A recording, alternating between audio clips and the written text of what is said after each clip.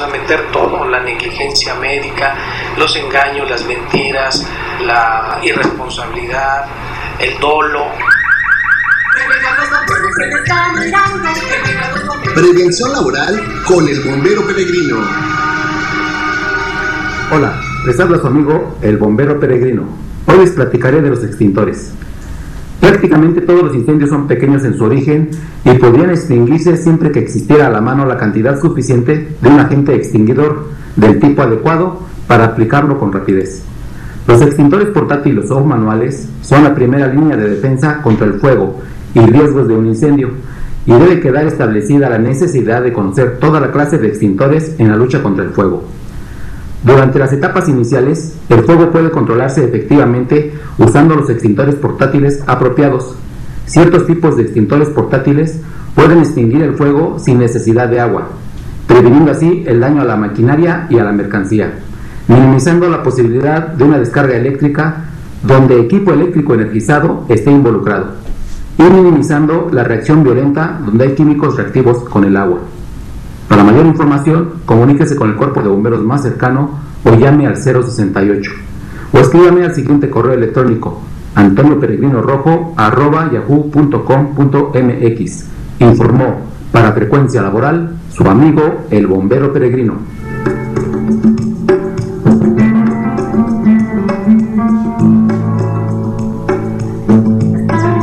Eh, Daniel Cara director del Instituto Mexicano del Seguro Social, eh, dio a conocer el miércoles pasado que el IMSS no aplicará la jurisprudencia de la Suprema Corte sobre pensiones, por lo que afirmó que ningún trabajador que haya cotizado con base en la ley del Seguro Social de 1973 y lo siga haciendo con la vigente a partir de julio del 97 se verá afectado en el monto de su jubilación a causa de la jurisprudencia dictada por la, por la Suprema Corte de Justicia de la Nación. La citada jurisprudencia no afecta los derechos y beneficios de los trabajadores que aún no se han jubilado y que han venido cotizando conforme a la ley de 1973 y 1997.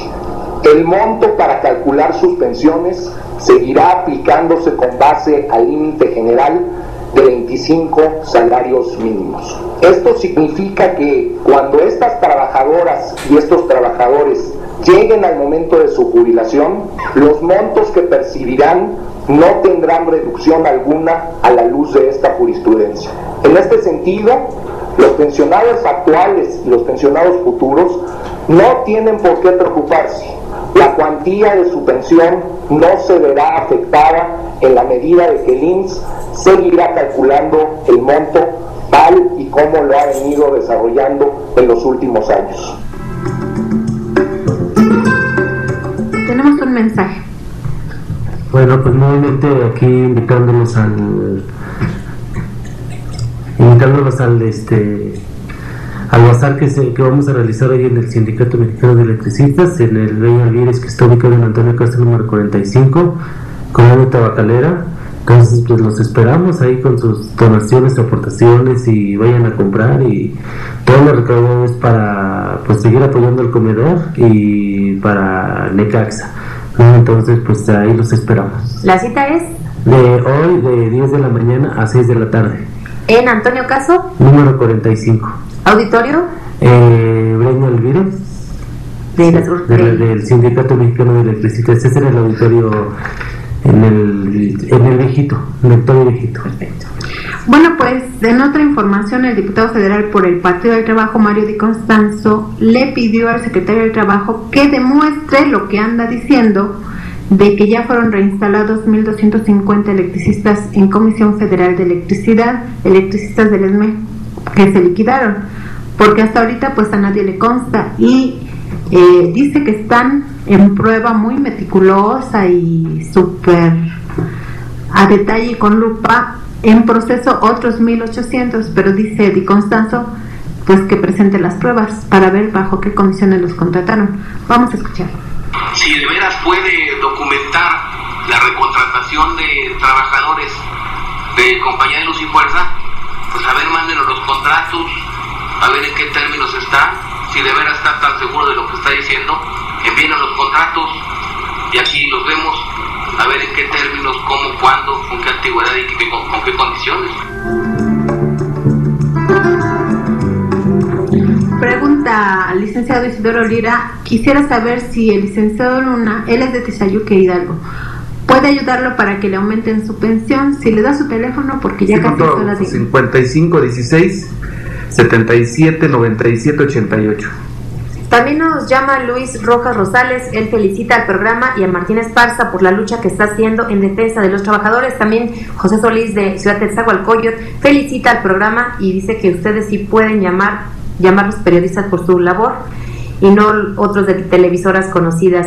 Y bueno, hablando precisamente de periodistas, si se quiere sumar hoy a la protesta que hacemos los periodistas en el Ángel de la Independencia a las 12 del día, vamos a ir hacia la Secretaría de Gobernación. Bueno, pues, licenciado tiene su participación en Derecho y Justicia para los trabajadores. Derecho y justicia para los trabajadores. Preguntan, ¿a quién creen? Es una pregunta que anda circulando en el internet. ¿A quién creen que va a beneficiar el gobierno de Felipe Calderón si recibió apoyos de, de estos empresarios dueños de Mexicana de Aviación para su campaña del 2006? Pues a los trabajadores no creo. Bueno, fíjate que tenemos una pregunta interesante. Eh, dice, te podemos despedir, o sea, te pueden despedir después de tres años y decirte que en la última evaluación de confianza con polígrafo no la pasaste y este es ser un argumento sustentable para el despido. Eso lo están aplicando en la Secretaría de Seguridad Pública Así es. ¿verdad? Y en otras dependencias. Y en varias empresas privadas lo están aplicando. Esto es ilegal. Primero la prueba no se tiene por qué hacer. Es de manera ilegal, solamente se les hace a los que están como servidores públicos en la policía judicial y veamos todo el revuelo que se causó ahí. De entrada no deben permitirlo, pero si se le hicieron y a partir de ahí lo quieren despedir, deben entonces demandar ante la junta que les corresponda. Y yo creo que no van a tener sustento la empresa para poder justificar que el despido es justificado. Y seguramente el trabajador lo que tiene que hacer es demandar, tiene dos meses a partir de que no lo dejen laborar y solicitar su reinstalación o su indemnización, lo que más le convenga al trabajador. Sus teléfonos, Con todo gusto. Es 55 16 77 97 88. Pati. Fíjate que ahora sí lo, quiero, este, la pregunta del despertar del gallo es interesante. ¿Usted sabe si se pueden devengar intereses en las deudas que tienen los trabajadores con sus patrones? Vamos a escuchar la cortinilla y luego damos Así es.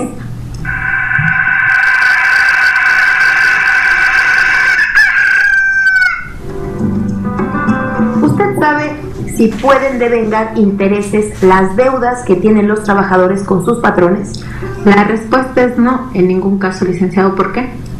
Pues porque así está determinado en la ley. La ley determina solamente cuáles son los motivos por los cuales se les puede hacer reducciones a los trabajadores, si es por algún crédito o por alguna cuestión que sea como el Infonavit del Seguro Social. Pero de ahí fuera, nada.